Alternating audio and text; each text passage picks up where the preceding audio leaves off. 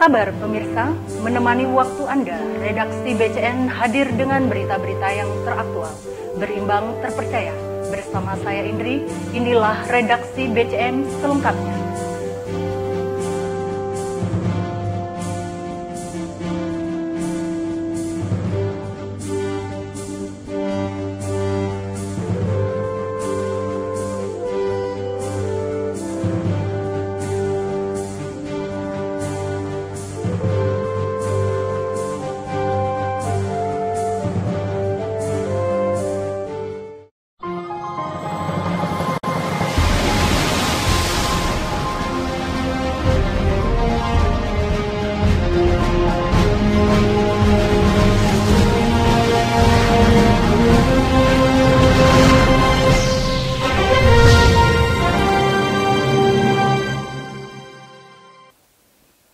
Sebagai bentuk kepeduliannya terhadap korban bencana alam, Palang Merah Remaja atau PMR SMK Negeri 2 Batam melakukan penggalangan dana tiap persimpangan lampu merah di kota Batam.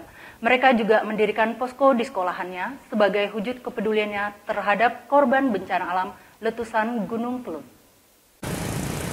Tampak terlihat anggota Palang Merah Remaja atau PMR SMK Negeri 2 Batam sedang melakukan penggalangan dana di Simpang Lampu Merah Kamo Industrial Park.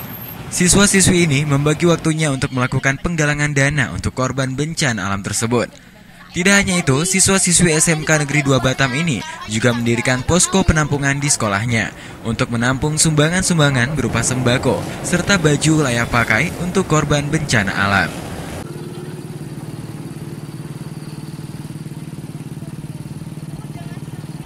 Baru selesai ngelakuin bakti sosial.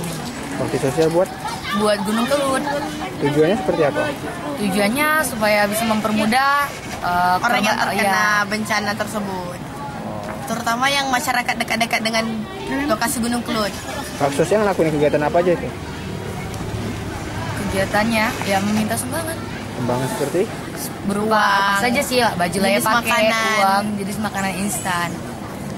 Harapannya ke depan seperti apa? Semoga mereka merasa terbantu dengan adanya bakti, bakti sosial ini. Mereka terbantu dengan ya pokoknya mempermudah mempermudah Mempermudah keadaan mereka Ah. lah yang yang saat itu kayak mana tertimpa musibah.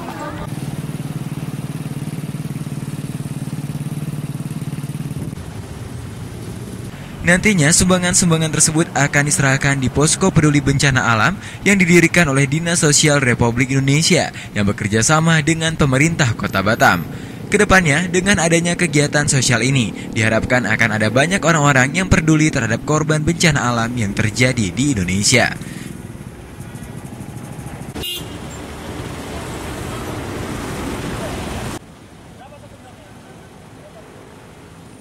Dari Batam Center, Pradana Putra BCN TV melaporkan.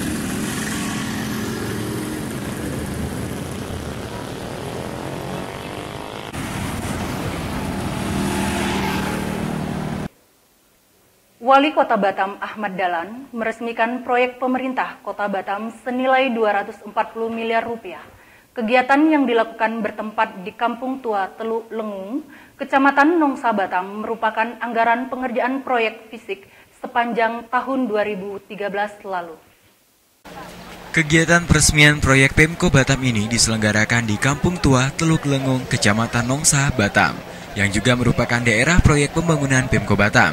Sebanyak 459 paket proyek pembangunan fisik daerah mainland dan 33 paket proyek pembangunan fisik daerah hinterland sepanjang tahun 2013 yang lalu. Selasa silam diresmikan langsung oleh Wali Kota Batam Ahmad Dahlan. Wali Kota Batam Ahmad Dahlan sendiri mengatakan, dari ratusan paket proyek fisik tersebut, jumlah pekerjaan pembangunan atau revitalisasi sebanyak 238 paket. Sementara untuk rehabilitasi atau peningkatan sebanyak 254 paket.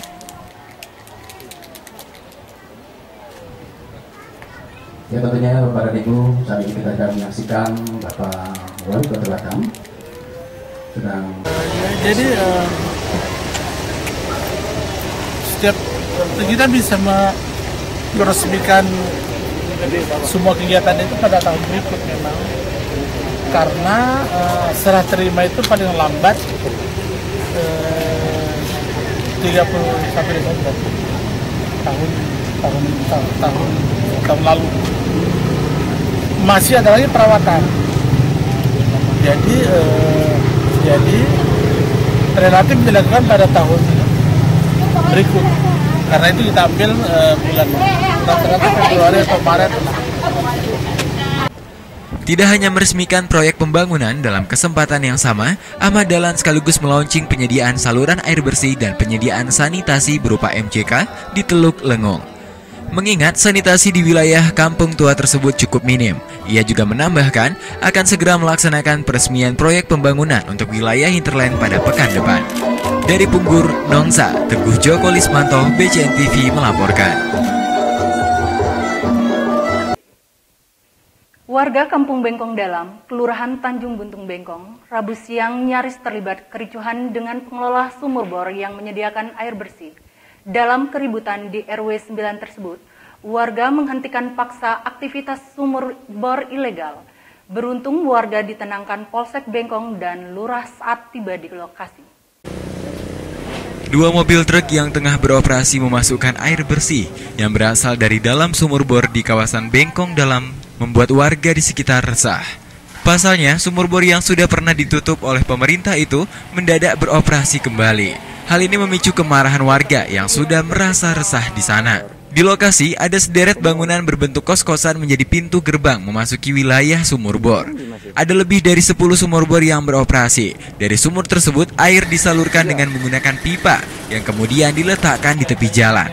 Untuk memasarkan air bersih itu, saban hari ada puluhan truk pengangkut air bersih.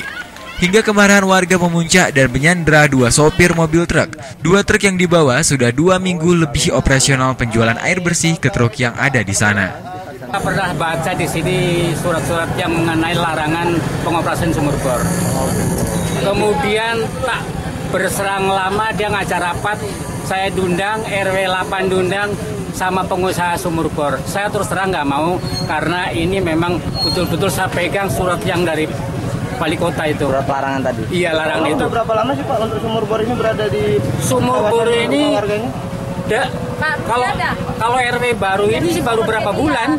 Ah, tadinya tadinya waktu ini udah udah, udah berhenti sebetulnya. Oh, udah pernah diberhentikan. Udah berhenti aman. Berapa Tapi semenjak adanya RW baru ini diperbolehkan lagi. Nah, ya sumur warga kering. Oh, gitu. Kedua kali jalan kita juga ini fasilitas pemerintah yang kita jaga jangan sampai hancur. Kita jaga makanya kita pasang portal di pintu masuk sana. Oh, gitu. Kedua kalinya ya apakah yang ke depan kan masih akan terjadi karena air disedot terus pasti akan terjadi. Entah nanti cucu saya entah siapa tuh yang akan mengalami. Makanya Oke, gitu. Terus nanti ini yang di yang dituntut warga apa sih Pak yang diinginkan warga sebetulnya? Ya yang diinginkan warga Pokoknya sumur bor yang istilahnya dikomersilkan ini mohon ditutup Dari Bengkong, Teguh Joko Lismanto, BCN TV melaporkan. Makin siang, warga berkerumun di daerah lokasi sumur bor semakin banyak. Mereka mengungkapkan kekesalan karena usaha sumur bor itu ilegal, namun tetap beroperasi.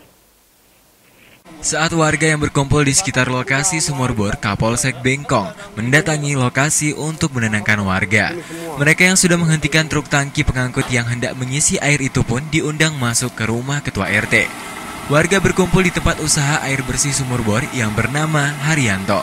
Pria itu disebut-sebut merupakan pemilik hotel kolekta. Aksi warga menolak keberadaan sumur bor tersebut bukan hanya karena sudah pernah ditutup saja, namun warga takut tanah di sana menjadi longsor dengan usaha sumur bor itu. Bahaya lainnya, sumur warga menjadi kering karena aktivitas jual beli air dari sumur bor ilegal ini. Sebelumnya, usaha ini sudah ditutup selama dua bulan, namun akhir-akhir ini kembali beraktivitas. Lurah Tanjung Buntung, Erwin Aprilian mengatakan akan menindaklanjuti masalah ini. Murpor ini di lingkungan saya, khususnya di wilayah RW 9, eh, Bengkong Dalam, Kelurahan Tanjung Buntung, itu tidak ada kepentingan sama sekali dari kelurahan. Ya. Kedua, bahwa lurah tidak ada memberikan izin baik itu statement maupun secara baik itu lisan maupun secara tertulis ya menyuruh mengizinkan tidak ada sama sekali.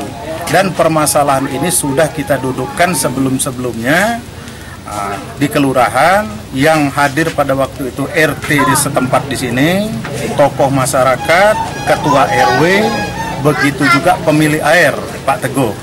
Kita tunjukkan SK Wali Kota dan SK dari Bapeldalda yang mana tidak boleh sumur ber beroperasi. Jadi sudah jelas jauh-jauh hari saya himbau begitu. Hingga siang, aparat kepolisian dan kelurahan yang mengetahui kemarahan warga yang hendak menutup paksa usaha ini berembuk dengan aparat setempat langsung. Dari Bengkong, Pradana Putra BCN TV melaporkan. Seorang ibu rumah tangga asal Aceh berinisial MU ditangkap petugas kepolisian kawasan Pelabuhan Sekupang. Penangkapan pada akhir pekan lalu itu dilakukan lantaran wanita itu kedapatan membawa ganja kering siap edar seberat 21 kg. Ibu rumah tangga itu pun dibawa ke kantor polisi. Saat diamankan, MU mengaku hanya membawa barang milik seseorang dari Aceh. Selain itu, ibu rumah tangga ini mengaku nekat lantaran butuh duit untuk mencukupi kebutuhan rumah tangganya. MU mengakui barang tersebut milik RY, seorang warga Aceh. Untuk membawa barang haram tersebut, MU akan mendapatkan imbalan Rp300.000 per kilogramnya. Apabila ganja siap edar yang ia bawa sampai ke orang yang dimaksud. Kepala Kepolisian Kawasan Pelabuhan Sekupang, AKP Hendrianto menjelaskan, awal penangkapan MU berdasarkan kecurigaan petugas terhadap gerak-gerik MU saat kapal dari Medan bersandar. Alhasil setelah petugas melakukan pengecekan, ganja seberat 21 kg siap edar berhasil diamankan petugas kepolisian kawasan pelabuhan.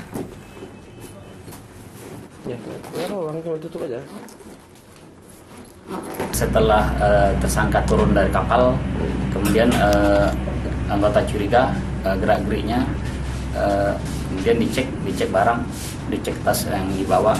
Kebetulan uh, dia juga menggunakan porter. Ya setelah dicek uh, ditemukan uh, ganja kering sebanyak 21 21 bata ya dia menggunakan uh, tiga tas ya ya dua tas dan uh, satu koper ibu ini cuman katanya membawa ya sudah ada yang menunggu. Ya cuman masih kita kembangkan.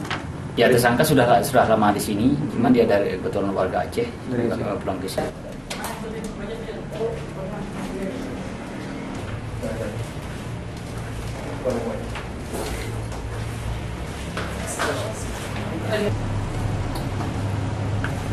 Setelah ganja senilai ratusan juta berhasil diamankan, MU beserta barang bukti digiring ke Polda Kepulauan Riau untuk dimintai keterangan lebih lanjut dan mempertanggungjawabkan perbuatannya.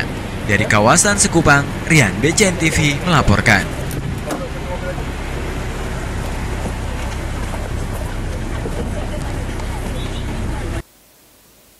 Berita selanjutnya. Untuk mengatasi kebutuhan akan pengadaan truk penampungan sampah atau bin kontainer, warga Kapling Pancur Baru khususnya RW 13 menginginkan di wilayahnya diadakan bin kontainer. Dengan diadakannya tempat penyimpanan sampah sementara ini, kebersihan kampung bisa terjaga.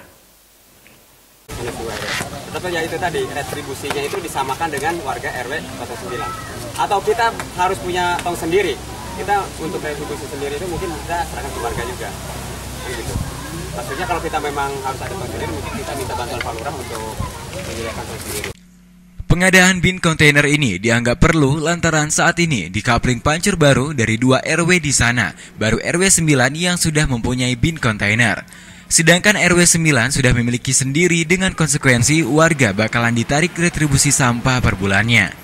Ketua RW 14, Salim, mengatakan untuk pengadaan bin kontainer ini sudah dibicarakan antar pimpinan RW di sana dengan Lurah Duriangkang, Gufron.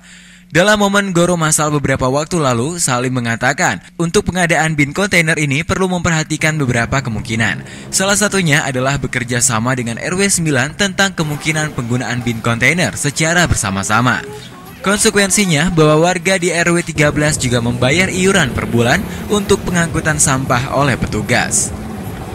Eh, intinya gini, selama ini kita sampah ini masih bekerja sama dengan RW 9 karena itu yang ada di bin kontainer itu kan kita pun gabung RW 13 RW 9. Cuma mungkin eh, sosialisasi untuk retribusinya belum maksimal, makanya kita ke depannya itu Harapan akan ya, kita mungkin harapan dari harapan warga itu agar kita punya bin kontainer sendiri. Maka saya bekerja sama dengan tokoh-tokoh masyarakat yang ada di RW 13 eh, akan memohon ke tingkat DKP paling tidak untuk menyediakan eh, sarana prasarana itu ya paling tidak bin kontainer agar ada di lingkungan kita di RW 13.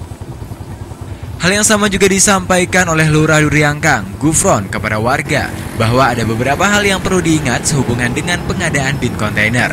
Salah satunya adalah tentang kemungkinan kerjasama penggunaan kotak sampah tersebut secara bersama-sama. Eh, kepada RW 13 khususnya yang uang retribusi sampah Nah, itu mungkin jadi kekurangan kenapa Pak? Apabila RW 9 itu dia tidak memenuhi kuota untuk pembayaran dia akan nombok jadi bukan bukan masalah tidak boleh mungkin di sini masalah eh, retribusinya mungkin belum maksimal belum jalan jadi saya juga berharap kepada warga apabila dari RW atau RT bersosialisasi tentang retribusi sampah tidak tolong juga direspon. Karena gini Pak setiap RW 1 kalau RW 1 RW 1 malah kita yang terbebanin Pak. Dari Punggur, Nongsa, Teguh Joko Lismanto, BCN TV melaporkan. Aksi spontanitas dilakukan oleh 53 karyawan PT ITEX yang melakukan mogok kerja. Aksi ini dipicu tindakan dua tenaga kerja asing asal India yang mengambil alih perusahaan. Selain itu, dua tenaga kerja asing asal India tersebut melakukan pemecatan karyawan sepihak.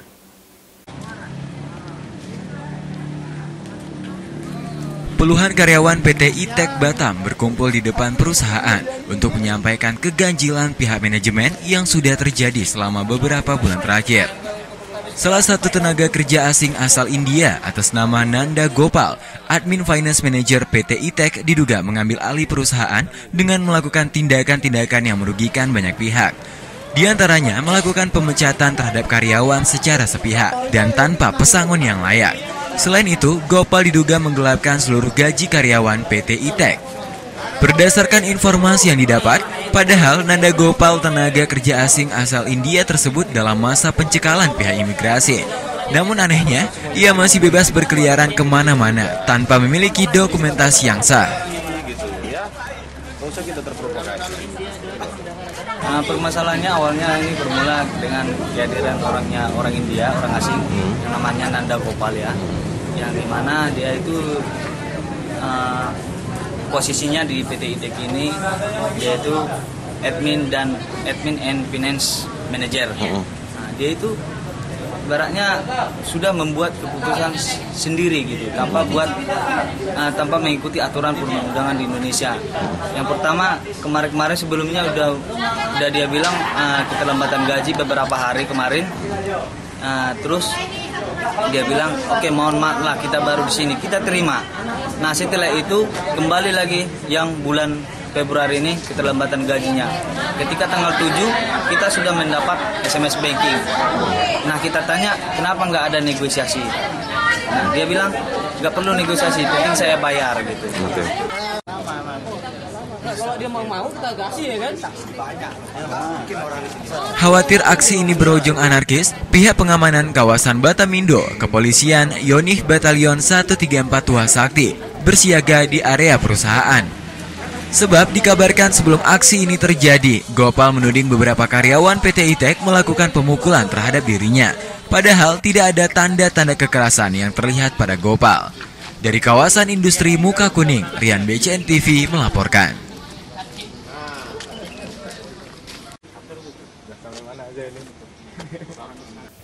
Selain diduga melakukan tindakan semena-mena terhadap puluhan karyawan dengan membayar gaji yang tidak sesuai dengan tidak adanya jam sostek bagi karyawan, Nanda Gopal diduga merupakan TKA bodong tanpa dokumentasi yang sah.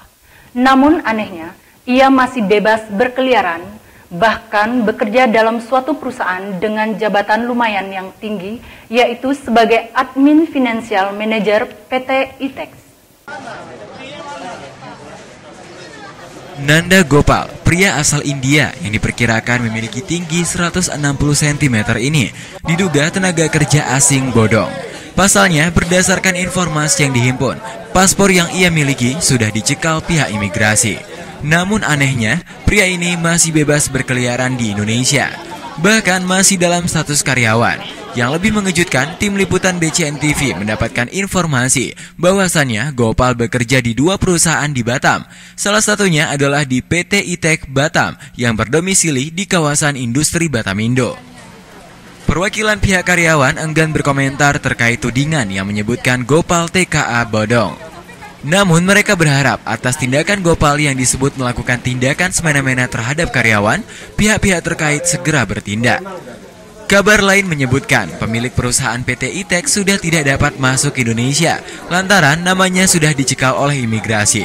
Hal inilah yang diduga menjadi penyebab Gopal mengambil alih perusahaan yang melakukan tindakan semena-mena.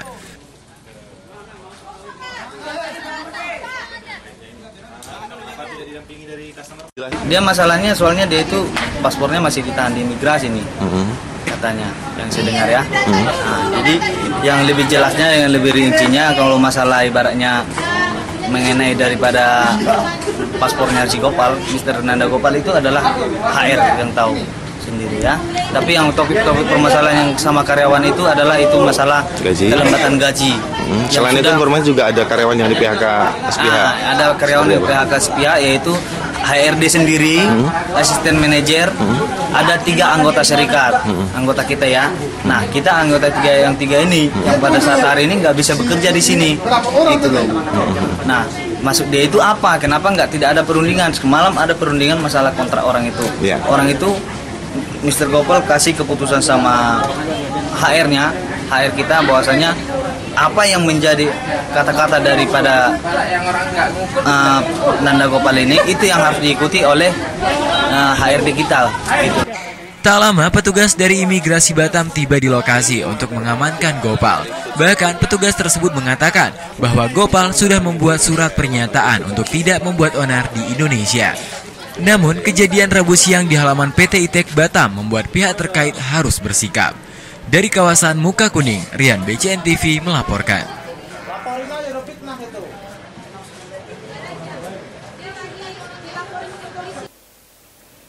Tak seperti biasanya, pertemuan rutin yang digelar Paguyuban Ngawi dan Asli Bocah Ngawi atau Asbocan mendapatkan apresiasi dari berbagai pihak. Dalam perayaan hari ulang tahunnya yang kelima, PWNB mendapatkan support acara dari BCN TV dan Batamindo untuk meramaikan kegiatan tersebut. PWNB dan Asbocan tanggap campur sari.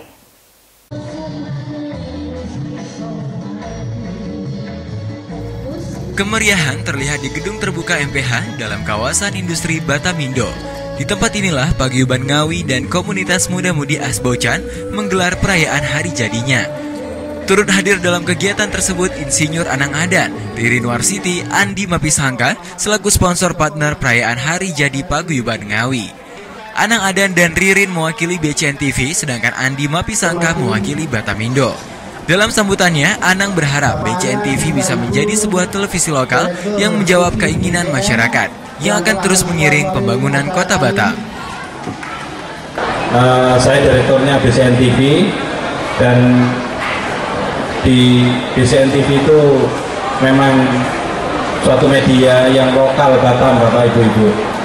Jadi mungkin itu aja perkenalan dari saya. Wassalamualaikum warahmatullahi wabarakatuh. Sementara itu, Haji Sarwono selaku ketua dari Paguyuban Ngawi menyampaikan rasa bersyukurnya atas dukungan dari semua pihak yang telah menjaga kebersamaan selama Paguyuban ini didirikan. Haji Sarwono juga mengatakan bahwa dirinya merasa bangga memiliki muda-mudi yang kreatif yang tergabung dalam komunitas asli Bocah Ngawi atau biasa disingkat dengan Asbocan.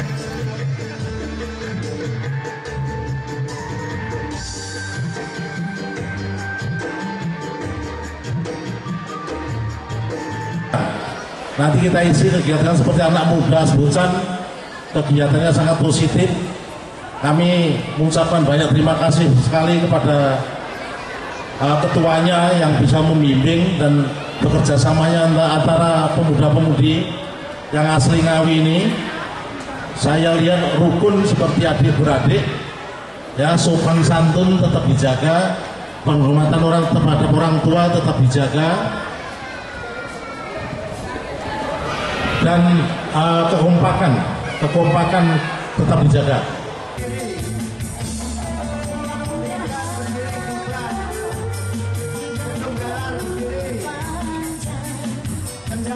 Acara berlangsung cukup meriah dengan hiburan campur sari Puspita Buana. Dari kawasan Muka Kuning, Rian BCN TV melaporkan.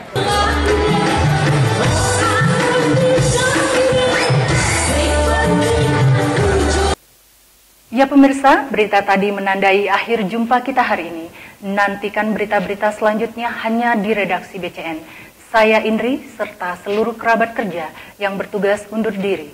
Terima kasih atas kebersamaan Anda. Wassalamualaikum warahmatullahi wabarakatuh dan sampai jumpa.